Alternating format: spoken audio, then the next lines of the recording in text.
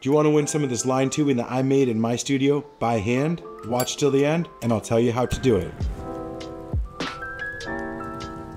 So I decided to do something a little bit different this week. Um, we're going to use the kitchen and the studio together to kind of combine some different creative processes. I brought my friend in Pyro. Uh, he's an excellent master glass blower.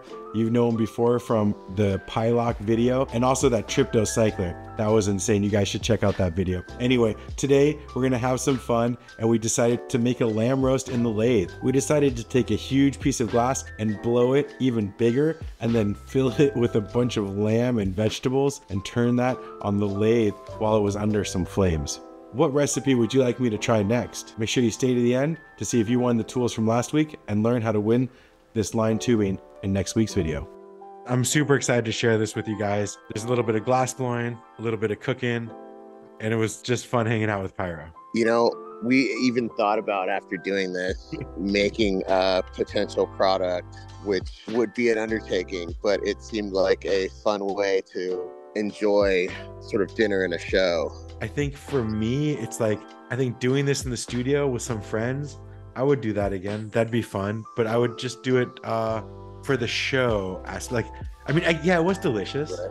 but I think we could achieve that with you know soaking the meat and the juices some other way, right? Without a forty thousand dollar lathe. I mean, I think the lathe might make the uh, the whole thing a little infeasible, but I, I overall it was uh, a success. I really enjoyed the meal. I had a good time making the piece with you, and uh, it it was really better than I could have expected. So yeah, here we are tossing around a few different concepts about the shaping, and then we decided to, rather than go with the the football shape, rather more of a cylinder with uh, solid shoulders. And you guys maybe noticed that this is the, the the new armadillo from Mike Peterson. It's actually a prototype, but Pyro has one of these on his lathe too. Uh, he also had one of the prototypes. But check this out. Yeah, I love the it. way that this is working is just amazing. So it's helping us hold the torch, and we we need to heat up a bunch of glass. This is like maybe 75 by 5 millimeter tubing, and we need to make this big. So we really want to get a lot of heat on this thing because it's gonna got to be a meal for uh, you know four people or something like that. Yeah, this thing put off some real heat when we were building it up. I think mm. we took it up to about 150 millimeter. It was something like that, right? Um, when you think about it, that the tubing is is 75, so it it was probably double that at least. Yeah, yeah, it was hot. You know, this is no joke. You know, this is. I mean, it is a joke, but it's it's also not a joke to blow glass like this. but I mean, it's it gets really hot when you're working this big.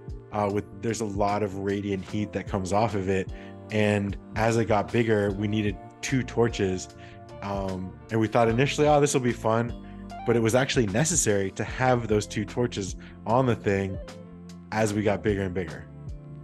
Yeah, it was extremely helpful to have that extra heat base, uh, especially while that larger cylinder was rotating around because by the time it made a full rotation, the backside was already cold. Yeah, yeah, yeah, exactly. And that's something to keep in mind, even when you're working smaller, you guys. What Pyro just said is that the rotation of the glass, uh, the part of the glass that's coming out of the flame is actually starting to be cool instantaneously. As it's moving out of the flame, it's starting to cool down. So by the time it rotates back, even if you're pretty fast, it still is a different temperature. All right, so we're just heating this up and trying to um, collect a little bit of glass and blow it out. And now we have two torches going, um, two Mirages, uh, one Mirage hand torch and uh, one Mirage bench top torch. And this is the, both of these torches have the switch on them. Um, that that's also really helpful like that. See the, the switch on the back of the torch is like a foot pedal. I really like that rotating hand switch. I got to get one of those. Oh yeah, it's cool, right? Do you, would you rather use that than a foot pedal, or, or is it just for a travel torch? Uh, well, for the hand torch specifically. And, oh yeah, you like the hand torch one? Yeah. For the lathe, amazing, right? Yeah, it's really great. Yeah, I'll show you guys more details about that in another another video, but um, it's pretty nice. And this also for the lathe. That's why I have this one on the lathe. It's got that switch on the back, which makes it pretty nice. Yeah, uh, so this thing started coming together pretty well. We didn't paddle it until almost two thirds through the process.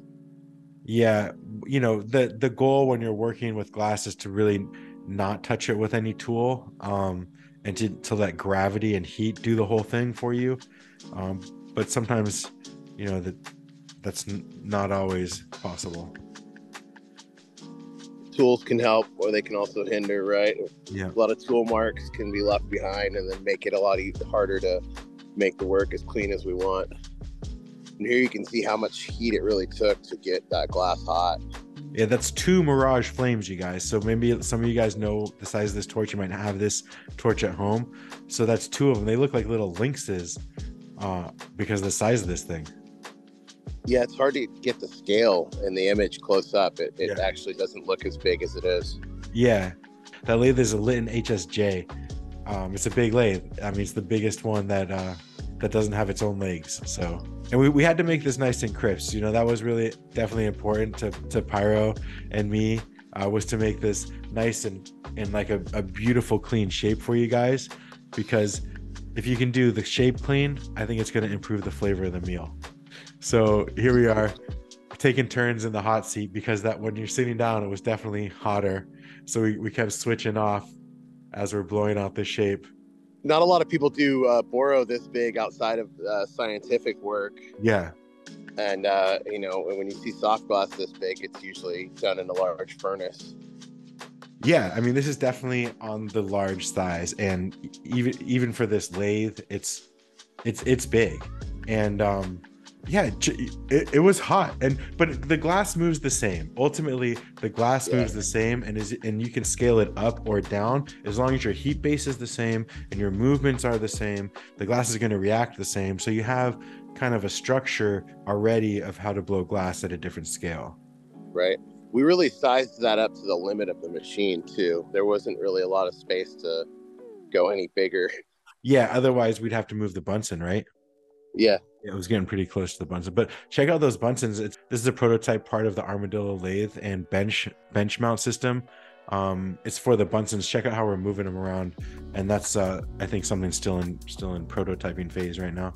yeah. So right here, making the constriction, uh, we decided to put a constriction on either side, one a little smaller than the other, to keep the juices from flowing out when we got the roast going. Yep.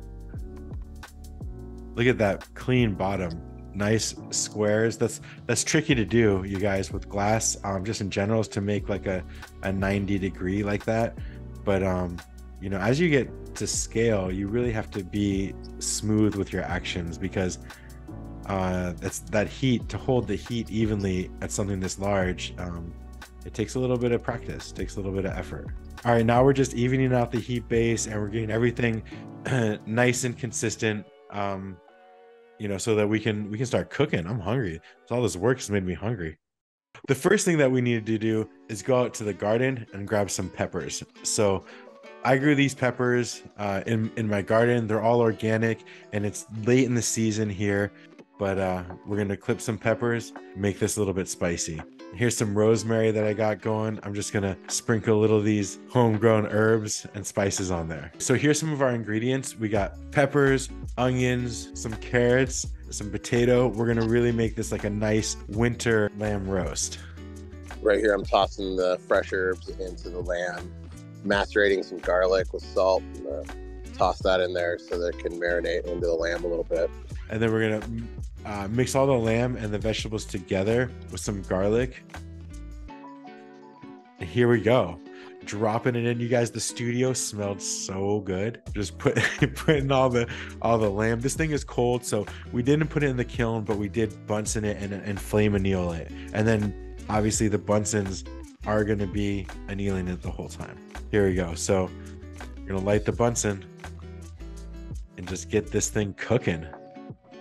So we quickly realized that our Bunsens are way hotter than they need to be. So we just turned everything way down and we just let it go for like 25, 30 minutes, something like that, right, Pyro? Yeah, I think it was about 30 minutes. Uh, it- Yes. it, it, was So great. it go and uh, we turned everything way down. Osa is super interested in what is going on on the lathe. Look at that. So as it turns, everything is soaked in that delicious broth that we made in there. and it was so mesmerizing. Like everyone in the studio was just watching this thing and watching this thing go. In my mouth watering just watching it again. And we were just oh, so getting so hungry with that smell. Here we go. I got my oven mitt on. Dripping a little bit. Let's get back to the kitchen. And here we go. Into the bowl. There's our onions and carrots, all that delicious lamb juice. Oh my god, it smelled so good. I wish that I could share with you guys the smell of the rosemary and the garlic and the onions. There we go. Here is the oh, finished final final project for this week. So delicious. I actually immediately had to go home and make myself a mini pork roaster, and I made myself a mini pork roast on the Inquala right when I got home. It I was so text, good. You texted me the picture right when you got home, huh? Was it good? I, oh yeah, in two hours I made the piece and cooked dinner. Yeah, like it was it was on point. Welcome back, you guys. That was delicious. Thank you so much for sharing that meal with us. It was so fun to have Pyro back. He's a great friend, and I love having him in the studio and making ridiculous collaboration projects. So, all right, you guys, in order to win this tubing, just make sure you like and subscribe, of course, and then comment on the video and share the video. Make sure you guys check out revereglass.com and you can join me once a week for the live online glass blowing class. I'd love to see you there. It's included with every level of membership. Let's find out who won these tools that have been on my bench for years. The first winner is Owens Glass 5414. Thank you so much. It means the world that you're going down this journey with me. The next winner is Crooked's Fire Pulls 136. Thank you again for watching these videos and commenting and being part of this glass journey with me. The last winner is Sticks BV. Thank you so much for watching. I chose three winners because all you guys were amazing with your comments and the things that you said. If you're watching this video, take a second to look back at the last video and make a comment, read some comments. Thank you guys so much. I have so much gratitude for that. So I'm going to divide these tools up and send them to a few people. Thank you guys again. I'll see you next week with another video.